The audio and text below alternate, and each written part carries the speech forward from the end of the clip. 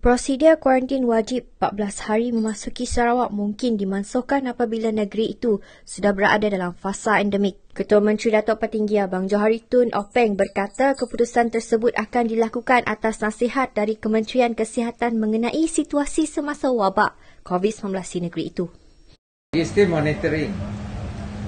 Kalau kita dah tahap uh, satu tahap di mana Kementerian Kementerian Kesihatan kata now we have reached to that stage. Then we can review again our SOP in terms of entry uh, to the state.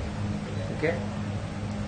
Okay, kalau tak ada lain. Dalam pada itu, timbalannya Datuk Amar Douglas Ugah Embas yang juga pengerusi Jawatan Kuasa Pengurusan Bencana Negeri Sarawak berkata, polisi sedia ada kemasukan ke negeri ini masih lagi terpakai. Pun begitu, beliau beri jaminan kebanyakan garis panduan serta prosedur operasi standard SOP mengenai sekatan perjalanan akan diubah apabila tiba masanya. Ya, memang.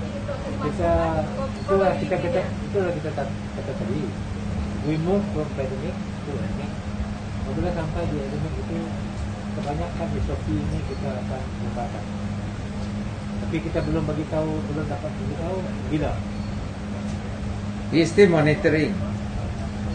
Beliau berkata demikian semasa sidang media sempena lawatan Ketua Menteri ke Sri Aman pada Sabtu.